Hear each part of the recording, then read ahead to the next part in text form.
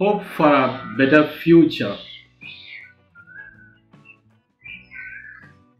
That is merely a belief, a hope, aspiring for a better future. What you have to do is plan and work out, achieve something. If you are waiting for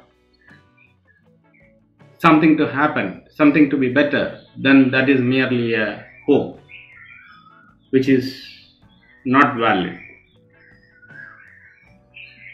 So we'll have to work out to have a better future.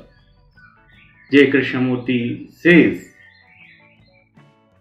that when you are incapable of resolving the problem now, then you begin to hope.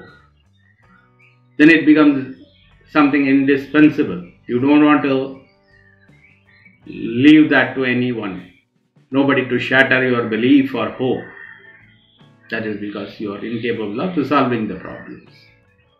Osho says maturity happens when you start living without hope. Hope is merely an imagination, not a reality. Reality is you work out your plan and achieve it. Thank you.